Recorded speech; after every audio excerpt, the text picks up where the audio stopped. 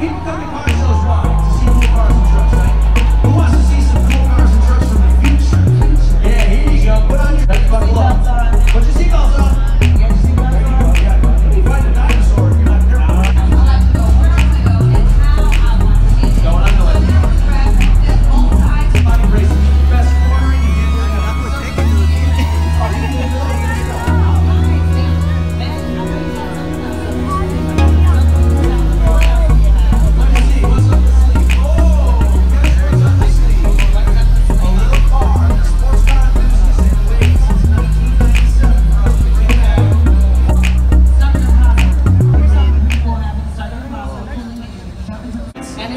because we're beta testing it now in Japan.